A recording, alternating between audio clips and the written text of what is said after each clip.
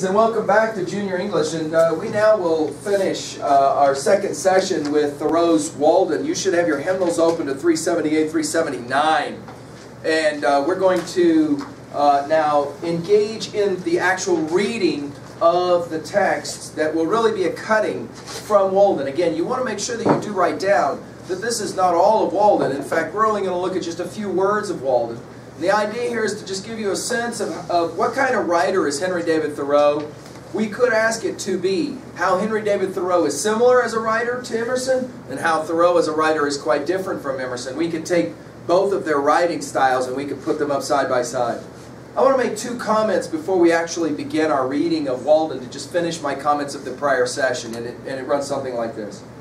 Thoreau's going to argue two things in this reading that will be significant. And I want you to be looking for it as we go. One, he's going to use this word simplify or simplicity.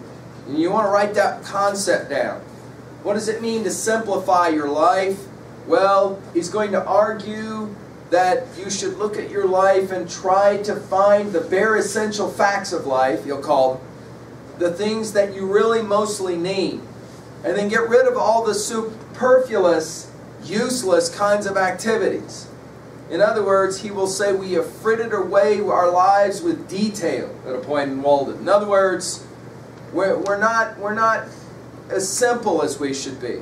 As life gets more complex, this is an interesting idea, life gets more stressful. See, it's an interesting question to ask. Are you more stressed now than you were when you were five? See? And why is that? Well, do you think that you're more stressed now than you will be when you are 30? See, I've had high school students that say, oh no, life is way more complex as a high school student than when you're 30. And of course, a 30-year-old, like somebody you live with at home maybe, would just roll their eyes and laugh, right? And say, you just wait. Life continues, it seems, Thoreau says, to get more and more complicated, more complex. And that's why it's so stressful. So we got to find a way to make life more simple. All right, that's the first concept. Number two, and this is really an important one for Thoreau because it follows on the ideas of Emerson, and it's this you choose. I'll just say it that way and you write it down. So you'll be looking for both of these. You choose to be happy. Events do not make you happy. You choose to be happy. And here's why. You said yesterday that Thoreau's a big time believer in controlling the stuff you can control.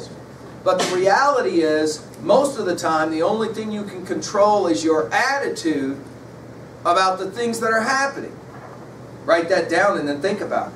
The only thing you can control is your attitude about the way things are happening and what's happening. You often cannot control the events of your day, but you can control the way you respond to those events of your day. Your attitude is everything. Now, for Thoreau, those two ideas of simplicity and the importance of attitude, you know, do you know people like this? Leave me alone, I'm in a bad mood. Thoreau doesn't understand that concept. If you can say you're in a bad mood, then you can take yourself out of that bad mood. Uh-uh, because all these things happened to me this morning. This happened, and this happened, and this happened, and this And Thoreau will argue all of those things have nothing to do with your bad mood. Zero. You choose to be in the mood that you're in. Right? You choose that. Nobody else chooses that for you. You have control over that. Are you ready for this? Thoreau will call that freedom. Freedom. For Thoreau, his idea of freedom is an attitudinal or spiritual freedom. It's not a physical freedom. So for example, right now, somebody were, you know, locked you up inside of a room, you can't have freedom from the room, but you can have freedom in your mind in regards to your attitude. The way I like to teach this is simply this. Well, a student once asked me this question. I'll go ahead and share this with you, and then we'll get to the actual Walden. He said, you know, you've read a, a, a little bit, and you've kind of seen a little bit of the world. If you could reduce everything that the transcendentalists and all of the great teachers have taught you to one line, could you do that? I like a question like that. And so I said, well, I think so. And it runs something like this. no longer ask, why is this happening to me? But rather learn to ask, why is this happening for me? Whoa, now let's analyze what I just said. And some of you will write this down. No longer ask, why is this happening to me? Underline the word to, T-O. Why is this happening to me? Rather, learn to ask, why is this happening for, F-O-R. Underline that word, me. Analyze how you think when bad stuff happens. And the minute it happens, oh, why did this have to happen to me? Seriously? My life is complicated enough. Why did this happen happen to me? The answer, of course, to that question is there is no answer to that question. No matter what answer somebody gives to you about why something happened to you, you can always come up with another question about why. Right? But notice the second part. Learn. L-E-A-R-N. This is going to be an important word for Thoreau. Education is more than schooling. Learn when bad stuff happens to not ask, why is this happening to me? But rather, why is this happening for me? In other words, no matter how bad the stuff is, we're not saying that it's a good thing that bad things happen. No, no, no, no, no. Thoreau is not a masochist. That's not what he's saying. What he's saying is that inevitably bad stuff's going to happen. The question is to learn how to ask the right question. Can you learn how to ask, why is this happening for me? What can I learn from this experience? Right? Let me give you a classic example of that. What would it mean, for example, I'll just say it this way. If you had to take summer school, I'm just going to say this as an example. What would that mean? You have to take summer school. Ugh. Seriously, why do I have to do this wretchedness? See how that works? Thoreau would ask you to ask a different question. Not why do you got to do summer school? Why is it got to happen to you? But rather, what can you learn from the experience? Can you be a different person from the experience? Notice that's all about attitude, right? It's the same experience, coming to summer school, for example, same experience. But notice the, the shift is a mental shift. It's an attitude shift. And Thoreau will say the truly free people are the people who learn to ask the second question instead of the first question. Because if you ask the first question, you'll forever be a slave. Now to point out, Thoreau is living and writing during the time right before the great American Civil War. That will soon take place. And why is the, is the war fought?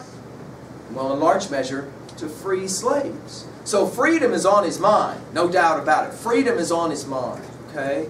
But he's going to argue that there's this thing called spiritual freedom or attitudinal freedom that's going to be really important, all right? So how does he get there? Well, the way he gets there is to take a trip, to take a journey. He goes to the woods, he lives by himself, for two years. And at the conclusion of two years, he feels like he understands transcendentalism and Emerson's ideas a whole lot better. Let's now turn to the actual text itself. I'm on 379 with you and follow. The first thing I want to point out at level one is that you want to have two different chapters from Walden assigned in your notes. The first one, notice, starts on 379. It's not the entire chapter, but it's called, it's a funny sounding chapter, Where I Lived and what I lived for. Notice the word for is right in his title. Do you see it? No longer ask why is this happening to me, but rather why is it happening for me. There it is. Intentionality was the word that we used before. To be intentional, to understand exactly why you do what you do. Remember when Socrates is standing right before he dies, he will claim the unexamined life is not worth living. You'll remember those lines from an Emerson lecture from earlier.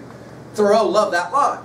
In other words, to live your life examined, to ask, why am I doing what I'm doing, where I lived, and what I live for. And then we're going to turn to the very end of Walden on page 385, and we're going to hear those words that we were working with just in uh, passing in our last session, the conclusion. In other words, he had to finish his journals that he kept at the Walden Pond because he came back from Walden and then when he published, he published with these little titles above several of these chapters.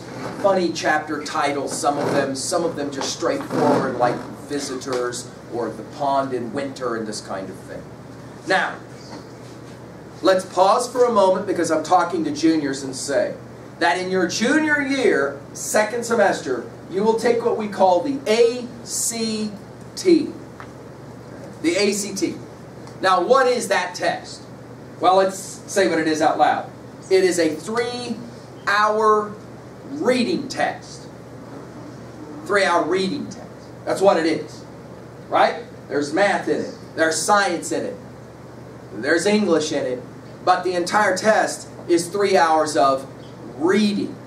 Do you got What's the number one way to prepare for the ACT? Improve as a reader. How come? Because it's a three-hour reading test.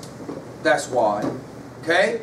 The word picture I often use is if we were right now to all jump in trucks and drive out to the edge of town and we're going to ask, I don't know, let's just ask Michael here, jump out this truck and we want you to run as hard as you can all the way to Thermop. Ready, go.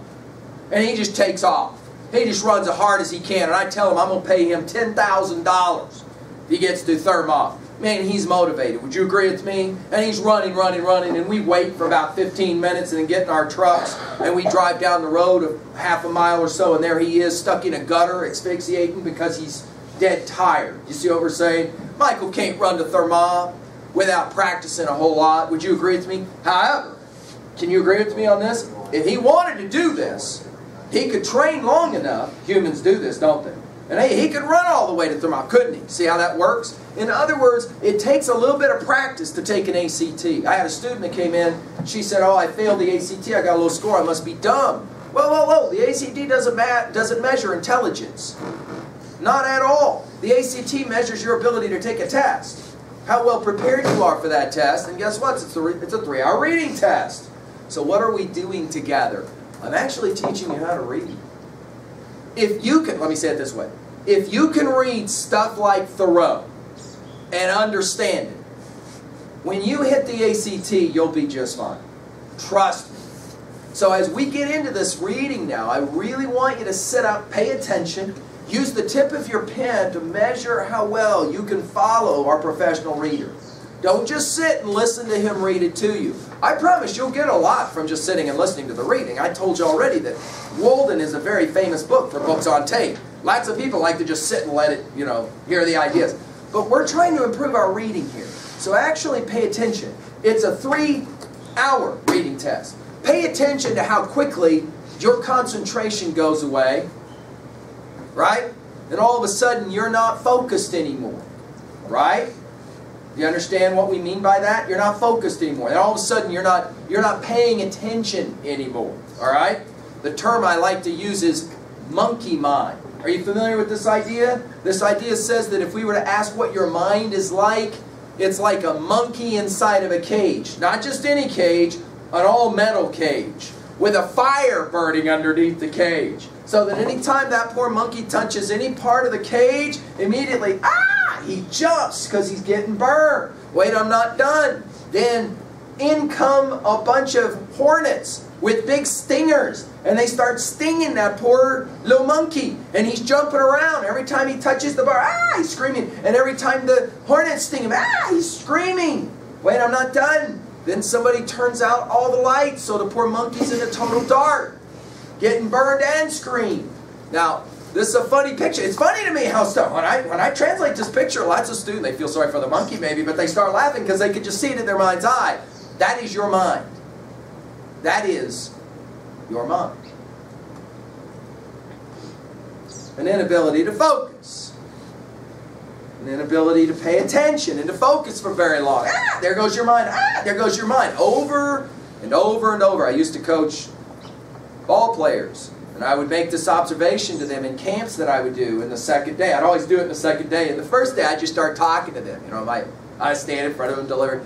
And I'd notice that every time I'd say something, they'd turn to their buddies, start, start talking. And I let it go on the first day. And then the second day, when I introduced Monkey Mind, as soon as I introduced it, it was funny. They'd start talking, right? And I say, see, look, look, it's happening right now. See how that works? And they'd all go, and I'd say, what I'll say to you, I'm not yelling at you at all. I'm not yelling at you at all. What I'm suggesting is you got to start paying attention to monkey mind. Because your inability to focus is why you can't read well. Did you hear what I just said? Your inability to focus is why you can't read well. Your inability to focus is why you don't do well in school. Your inability to focus is why you don't do well on your job. If you work a job, just pay attention to the way monkey mind happens for most of the people around you, right? Your ability to try to see monkey mind is the first step in conquering monkey mind. So for example, let's just play the game right now. By the way, what would you suggest about helping that poor monkey? Well, the first thing we might say is let's turn on the light, let's open the window so the bees go out, let's turn the poor fire off underneath, and then let's open the little cage door and let the monkey out the cage. Do you got me? In other words, let's free our minds in regards to monkey mind. But the key is seeing it. When you begin to see it, and you can call it monkey mind. I often will use this term in 303. See? See what I mean? See how that works? It's fascinating. Barry's, yeah, you're right. A minute, see, it's an instinct. And here's the thing. Even if we're not saying it, we're thinking it. Our mind is going, ah, like a monkey, right? Uh, identifying this in our reading is a great first step. So watch, how many paragraphs does it take? This is a fun game to play. How many paragraphs does it take before your mind is somewhere else? Before you're hearing the words, you're looking at the page, the words are all there, and you're somewhere else. I don't know. Maybe you're off Waikiki, uh, Waikiki Beach or Honolulu, uh, off Diamond Head or somewhere else. You are completely gone, right? Okay? The key as you mature is to bring your mind back. We call that focus. You will be more successful in your life if you can be aware of monkey mind and then you can conquer it. It's funny, the minute you see monkey mind, you immediately kind of wake up and go, oh yeah, I'm supposed to be reading on Walden and I was thinking about that crazy word picture the old man just told me about. See how that works? And then all of a sudden our mind's off and going somewhere else. So as we get through this, we've got several pages here. And I'm not going to stop it. I'm just going to let it go. All right? As we work, we're going to be working at level one. Okay? And all I'm going to ask you is this simple question. So write it down at level one. I want you to jot down three ideas. Three ideas from the reading of Walden that you want to remember. Because they make sense to you. They may not make much sense to anybody else, but they make sense to you. By the way, taking annotative notes helps with monkey mind because you're trying to write something down, which means you're looking for something to write down, which means you're paying attention to what you're reading instead of just letting your mind kind of wander, and then all of a sudden you're looking at the clock. What would a schoolroom be like without a clock? I've had students that say that would be living hell. I, I couldn't, I mean, I, of any timepiece. I mean, any timepiece. So you couldn't have any timepiece. So when you walked in, you didn't have any way to know how much longer you had to be in that room. What would that be like? Well, what, they, what that tells us is how often you look at that timepiece. Why do you look at that timepiece? Dude, I got to get out of here. Get out of here to do what? On to the next thing. On to the next thing. On to the next thing. That's called your life. That's how your days always are going to be. On to the next thing. Dude, when will you ever just focus on this thing? Now. Instead of on to the next thing. The future. Or that crap of the past the past. Monkey mind is the key. You got me? And really, in many ways, you could argue Thoreau went to the woods to conquer monkey mind. He recognized that he had serious problems with monkey mind. He couldn't focus. And so he went to the woods so he could focus, so he could, you know what I mean by focus? Right? Turn that, turn that lens down, right to the thing he wanted to focus on. Let's now listen to what he has to say about living building a, ha a house, a little cabin, and some of the other kinds of issues for him that were important at the very beginning. And then we're going to hear a little bit about what he says at the very end of his project. All right, here we go. An introduction to Henry David Thoreau's Walden. Try to use the tip of that pen or pencil and see how long you can really stay with this reading before monkey mind. By the way, sleep is monkey mind. Okay? And like I think I said to you before, we know from research that if you just pull that back off of that chair for even 30 seconds and just count to make sure your back doesn't touch for 30 seconds, gets that blood going back up your spine again to your brain, and all of a sudden you're woke up again. Because some, for some of us, we're not morning people. Thoreau would say, I don't even know what that means. We're not morning people, right? So we, we get kind of sleepy and tired monkey mind. All right, here we go from Walden. From Walden by Henry David Thoreau. From Where I Live and What I Lived For. At a certain season of our life, we are accustomed to consider every spot as the possible site of a house. I have thus surveyed the country on every side within a dozen miles of where I live. In imagination, I have bought all the farms in succession, for all were to be bought, and I knew their price. I walked over each farmer's premises, tasted his wild apples, discoursed on husbandry with him, took his farm at his price, at any price, mortgaging it to him in my mind, even put a higher price on it, took everything but a deed of it, took his word for his deed, for I dearly loved to talk, cultivated it, and him too, to some extent, I trust, and withdrew when I had enjoyed it long enough, leaving him to carry it on. This experience entitled me to be regarded as a sort of real estate broker by my friends. Wherever I sat, there I might live, and the landscape radiated from me accordingly. What is a house but a sedes, a seat, better if a country seat?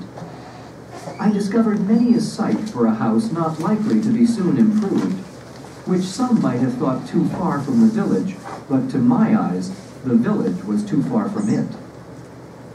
Well, there might I live, I said, and there I did live, for an hour, a summer and a winter life.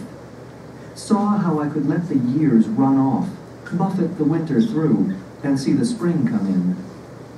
The future inhabitants of this region, wherever they may place their houses, may be sure that they have been anticipated. An afternoon sufficed to lay out the land into orchard, woodlot, and pasture, and to decide what fine oaks or pines should be left to stand before the door, and whence each blasted tree could be seen to the best advantage. And then I let it lie, fallow perchance. For a man is rich in proportion to the number of things which he can afford to let alone. Well, that's an important line, huh? My imagination carried me so far that I even had the refusal of several farms. The refusal was all I wanted, but I never got my fingers burned by actual possession.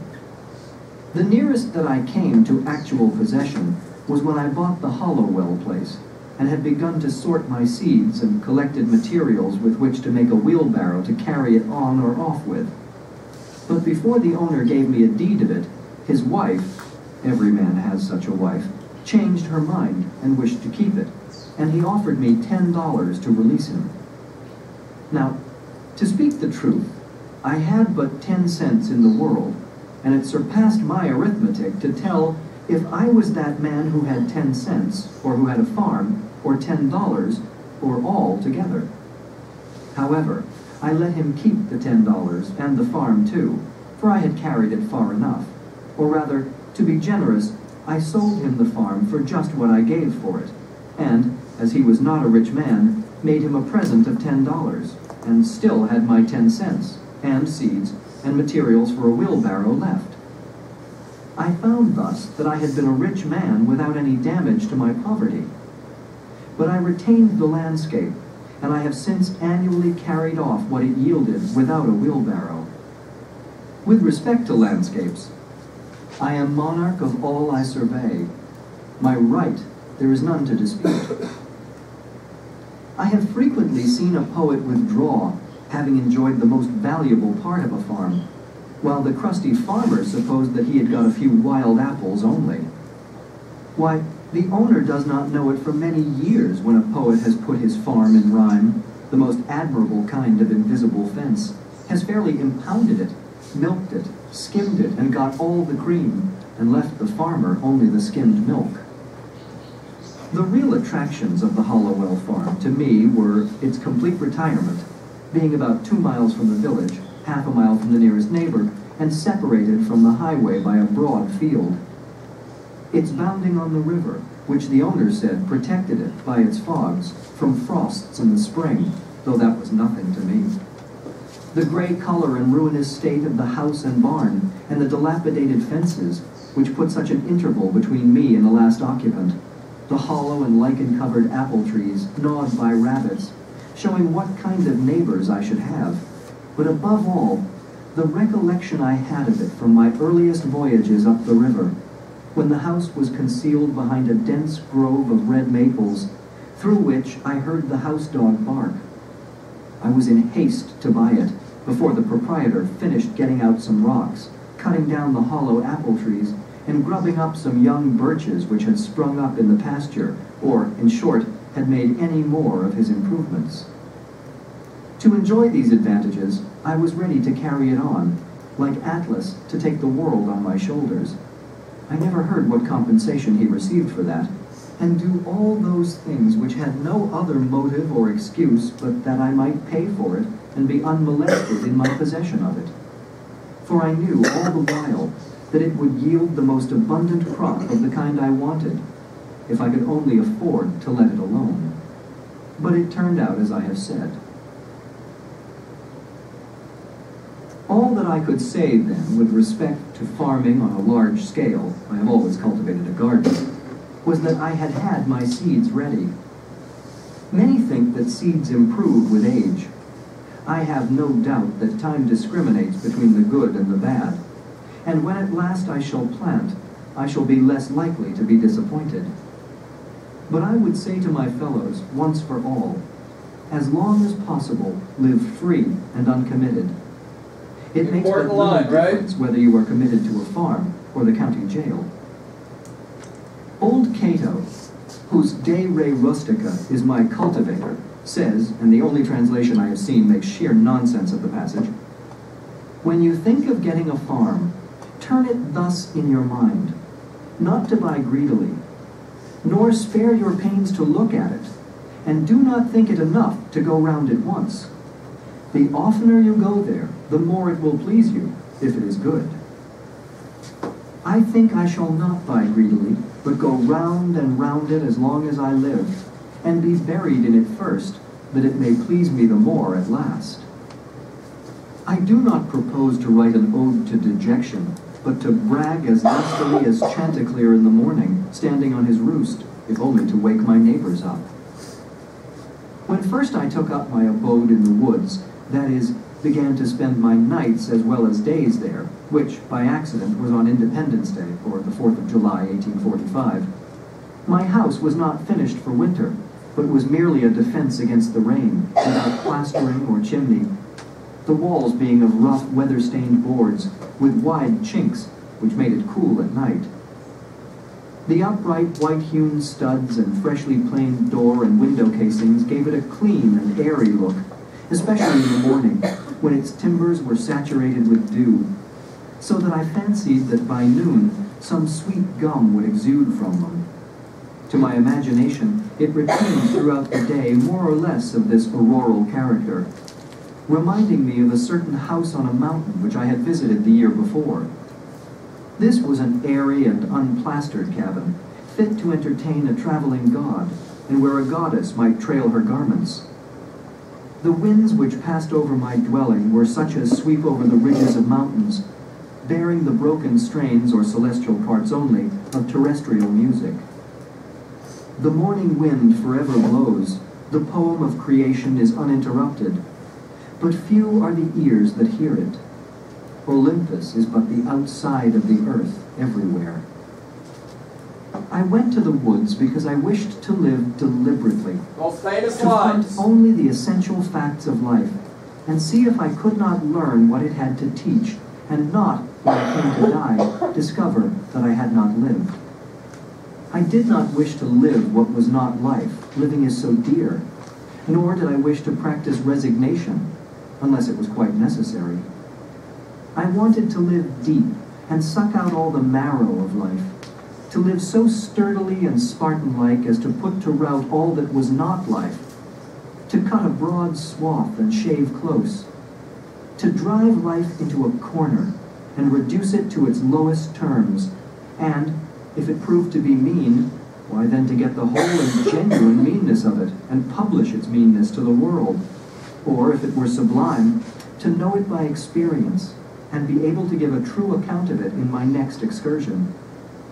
For most men, it appears to me, are in a strange uncertainty about it, whether it is of the devil or of God, and have somewhat hastily concluded that it is the chief end of man here to glorify God and enjoy him forever. Still, we live meanly, like ants, though the fable tells us that we were long ago changed into men. Like pygmies, we fight with cranes. It is error upon error, and clout upon clout, and our best virtue has for its occasion a superfluous and evitable wretchedness. Our life is frittered away by detail. An honest man has hardly need to count more than his ten fingers, or, in extreme cases, he may add his ten toes and lump the rest. Simplicity, simplicity, simplicity. There it is. I say let your affairs be as two or three, and not a hundred or a thousand. Instead of a million, count half a dozen, and keep your accounts on your thumbnail. In the midst of this chopping sea of civilized life, such are the clouds and storms and quicksands, and thousand and one items to be allowed for, that a man has to live, if he would not founder and go to the bottom, and not make his port at all, by dead reckoning, and he must be a great calculator indeed who succeeds. Simplify, simplify. Instead of three meals a day, if it be necessary, eat but one. Instead of a hundred dishes, five, and reduce other things in proportion. Our life is like a German confederacy, made up of petty states, with its boundary forever fluctuating, so that even a German cannot tell you how it is bounded at any moment. The nation itself, with all its so-called internal improvements, which, by the way, are all external and superficial, is just such an unwieldy and overgrown establishment, cluttered with furniture and tripped up by its own traps, ruined by luxury and heedless expense, by want of calculation and a worthy aim, as the million households in the land. And the only cure for it, as for them, is in a rigid economy, a stern and more than Spartan simplicity of life and elevation of purpose. It lives too fast. Men think that it is essential that the nation have commerce and export ice and talk through a telegraph and ride 30 miles an hour without a doubt, whether they do or not. But whether we should live like baboons or like men is a little uncertain. If we do not get out sleepers and forge rails and devote days and nights to the work, but go to tinkering upon our lives to improve them, who will build railroads? And if railroads are not built, how shall we get to heaven in season? But if we stay at home and mind our business, then we want railroads. We do not ride on the railroad. It rides upon us. Time is but the stream I go a-fishing in. I drink at it, but while I drink, I see the sandy bottom and detect how shallow it is. Its thin current slides away, but eternity remains. I would drink deeper, fish in the sky, whose bottom is pebbly with stars. I cannot count one. I know not the first letter of the alphabet. I have always been regretting that I was not as wise as the day I was born. The intellect is a cleaver. It discerns and rifts its way into the secret of things. I do not wish to be any more busy with my hands than is necessary. My head is hands and feet. I feel all my best faculties concentrated in it. My instinct tells me that my head is an organ for borrowing, as some creatures use their snout and forepaws, and with it I would mine and burrow my way through these hills. I think that the richest vein is somewhere hereabouts, so, by the divining rod and thin rising vapors I judge, and here I will begin to mine. From the conclusion. Okay, here we go. Final thoughts. I left the woods for as good a reason as I went there. Perhaps it seemed to me that I had several more lives to live, and could not spare any more time for that one. It is remarkable how easily and insensibly we fall into a particular route and make a beaten track for ourselves.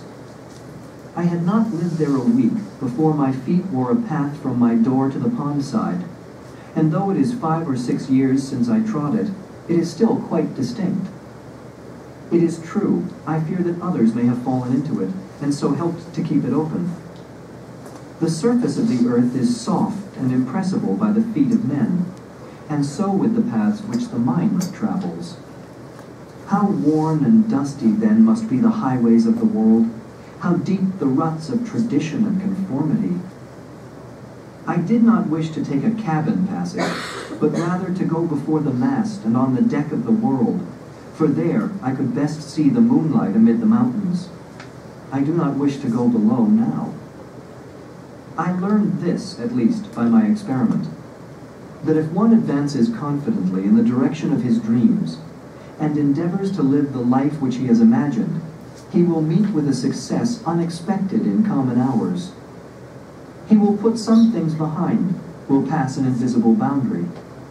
New, universal, and more liberal laws will begin to establish themselves around and within him, or the old laws be expanded and interpreted in his favor in a more liberal sense and he will live with the license of a higher order of beings. In proportion, as he simplifies his life, the laws of the universe will appear less complex, and solitude will not be solitude, nor poverty poverty, nor weakness weakness. If you have built castles in the air, your work need not be lost. That is where they should be. Now, put the foundations under them. Why should we be in such desperate haste to succeed, and in such desperate enterprises? If a man does not keep pace with his companions, perhaps it is because he hears a different drummer. Let him step to the music which he hears, however measured or far away. It is not important that he should mature as soon as an apple tree or an oak. Shall he turn his spring into summer? If the condition of things which we were made for is not yet, what were any reality which we can substitute? We will not be shipwrecked on a fading reality. Shall we with pains erect a heaven of blue glass over ourselves? Though when it is done, we shall be sure to gaze still at the true ethereal heaven far above, as if the former were not.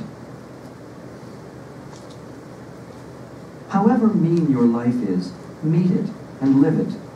Do not shun it and call it hard names. It is not so bad as you are. It looks poorest when you are richest. The fault finder will find faults even in paradise.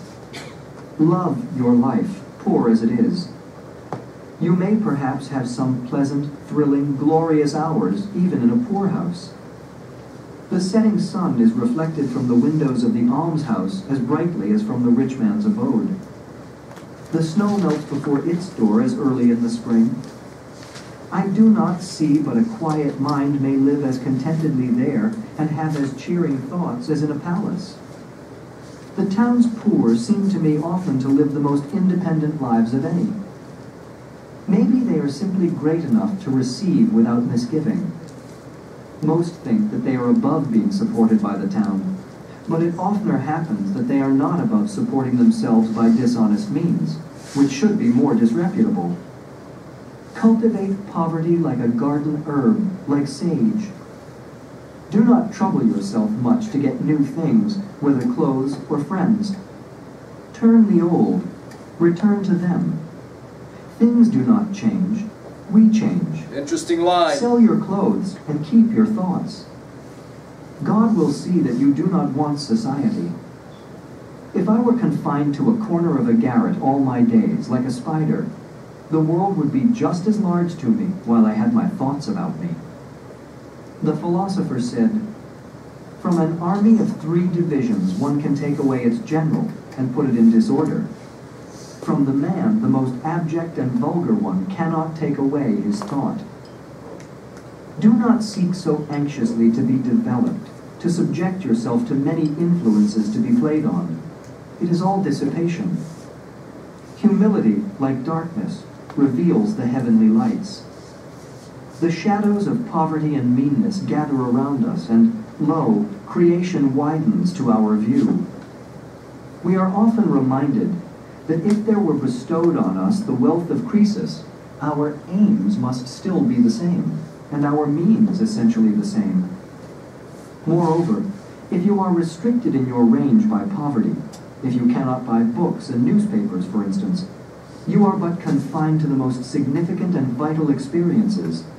You are compelled to deal with the material which yields the most sugar and the most starch. It is life near the bone where it is sweetest. Famous line, right? From being a trifler. No man loses ever on a lower level by magnanimity on a higher. Superfluous wealth can buy superfluities only. Money is not required to buy one necessary of the soul. The life in us is like the water in the river. It may rise this year higher than man has ever known it, and flood the parched uplands. Even this may be the eventful year which will drown out all our muskrats. It was not always dry land where we dwell. I see far inland the banks which the stream anciently washed before science began to record its freshets. Everyone has heard the story, which has gone the rounds of New England, of a strong and beautiful bug which came out of the dry leaf of an old table of apple tree wood, which had stood in a farmer's kitchen for 60 years, first in Connecticut and afterwards in Massachusetts, from an egg deposited in the living tree many years earlier still, as appeared by counting the annual layers beyond it, which was heard gnawing out for several weeks, hatched perchance by the heat of an urn. Who does not feel his faith in a resurrection and immortality strengthened by hearing of this? Who knows what beautiful and winged life, whose egg has been buried for ages under many concentric layers of woodenness in the dead, dry life of society, deposited at first in the alburnum of the green and living tree, which has been gradually converted into the semblance of its well-seasoned tomb, heard perchance gnawing out now for years by the astonished family of man, as they sat round the festive board, may unexpectedly come forth from amidst society's most trivial and handselled furniture to enjoy its perfect summer life at last. I do not say that John or Jonathan will realize all this, but such is the character of that morrow which mere lapse of time can never make to dawn. The light which puts out our eyes is darkness to us. Only that day dawns to which we are awake. There is more day to dawn.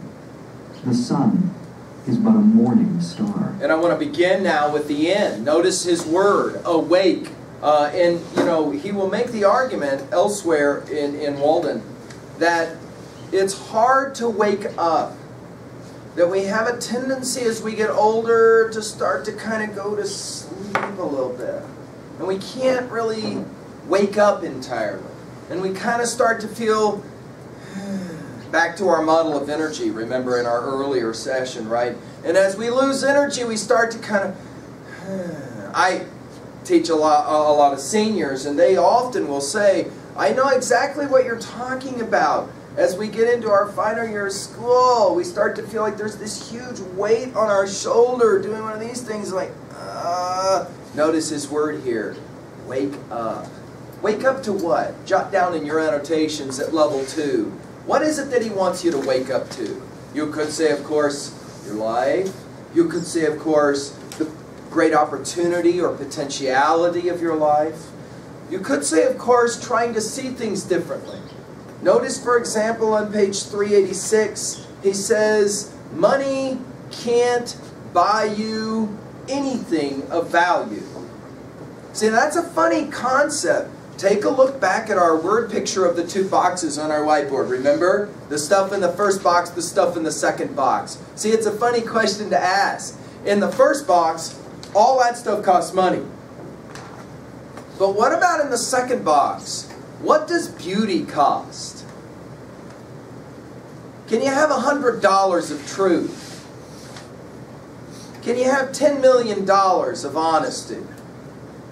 See, it just doesn't work. I want a trillion dollars of love. See, it doesn't, it, it doesn't work. The stuff in the second box, see, you can't buy that stuff. It's not exchanged in that way. To that degree, we're back to that story of Socrates at the mall. Remember why Abercrombie? Why is it that the stuff we have seems to matter so much? Because we choose for it to matter. Well, what if it didn't matter? Well, then, there's our F word. F-R-E-E. We are free when we can realize what matters and what does not matter. That realization, Thoreau will call waking up. Of course, let's go ahead and say that he wants to live life near the bone, he says. In other words, I want to live to know what really is important, what matters. Notice again on page 385, he, he makes an interesting word picture, and this will be that nonconformist transcendental view. I'm on page 385, that third paragraph. Why should we be in such desperate haste to succeed and in such desperate enterprises? If a man does not keep pace with his companions, in other words, do everything your pals do, perhaps it's because he hears a different drummer. What an interesting idea. It's a very famous line from Walden. You're marching to the beat of a different drummer. In other words, live your life in your own way. Don't feel that you always have to live your life the way other people are telling you to. Notice on page 384, this is a line maybe some of you wrote down at the uh, right there next to that picture of a hut that kind of resembles the one that maybe Thoreau lived in. He says, I've always been regretting that I was not as wise as the day I was born. What an interesting idea. I've always been regretting that I was not as wise as the day I was born. In other words, Thoreau says that it seems like as we get smarter, we get stupider. I've had students that say, dude, I totally know what he says. It's like I, I, I know more stuff. They've taught me more stuff, but I don't seem to have as much joy as I had when I was five. And the most important thing I got to do is to go to the park and swing on the swing. In other words, our life becomes so complicated that we fail to be able to enjoy the simple things of life.